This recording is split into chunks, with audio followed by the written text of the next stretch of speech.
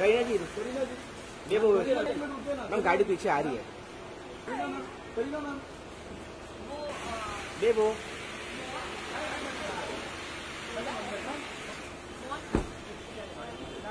Kareena ma'am Kareena ma'am. Kareena ma'am.